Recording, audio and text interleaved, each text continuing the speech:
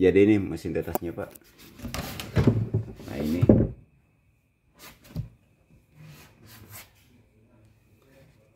Terus ini termometernya. Jadi ini kita sudah setting.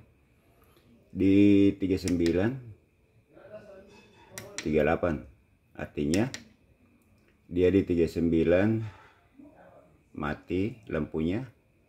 Terus di 38 ini turun satu berarti 38 dia nyala lagi.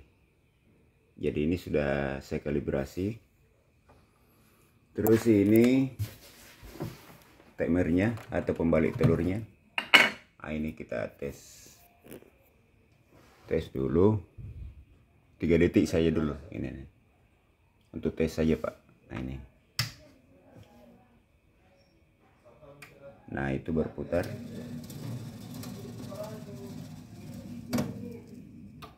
nah tunggu tiga jam lagi berputar lagi.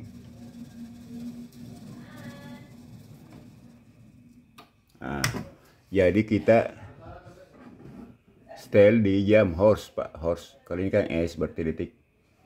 Nah itu horse berarti tiga jam. Nah ini. Jadi nanti nih tertulis 01 2 jam 02 3 jam 03 nyala lagi nih terputar lagi terus kembali lagi 00 jadi setiap 3 jam terputar lagi. Nah ini yang di depan ini lamanya muter. Jadi tidak usah diganggu ini pak. Biarkan saya begini. Nah ini. Terus ini saya pasang di dalam untuk kalibrasi. Jadi nanti caranya pasang begini saja pak. Di tengah-tengah telur. Untuk perbandingan suhu ini dan suhu ini nanti kelihatan selisihnya. Tapi ini sudah kalibrasi. Kita pasang begitu saya nanti saya taruh baskom di sini pak. Tempat air. Nah di sini. Sebelum di packing saya kasih masuk baskom. Tempat air. Terus ini kalau misalnya habis menetas ini kan pakai besi ini pak. Aluminium ini. Misalnya mau dibersihkan tinggal begini saja pak keluar bisa begini. Nah dibersihkan dikuas-kuas ini bisa. Nah kalau sudah bersih dikasih masuk lagi.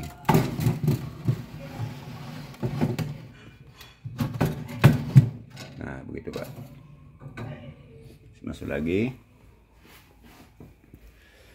Terus apanya lagi? Nah ini alatnya di dalam sini pak alatnya dalam. Tidak kelihatan jadi ada lagi pembatasnya di sini. Nah ini. Sebentar. Saya usahakan kirim pak. Nah ini. Jadi tinggal isi saja telur sama air nanti saya masuk baskom. Tidak usah dulu diganggu-ganggu pak dirubah-rubah. Tinggal isi saja kasih masuk telurnya. Ini juga saya sudah setting setiap tiga jam setiap tiga jam terbalik lagi. Nah ini. Jadi. Oke pak